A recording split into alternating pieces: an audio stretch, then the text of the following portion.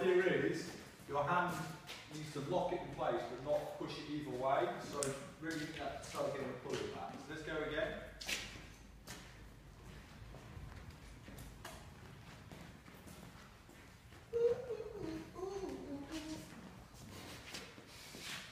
Yeah, go. There we go. That's good. I was solid. That was.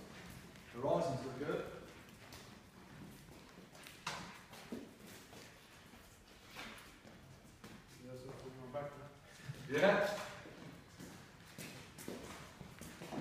Just put perspective, I used to have a couple of crosses in my bedroom and I used to just do that hours and hours and hours. And I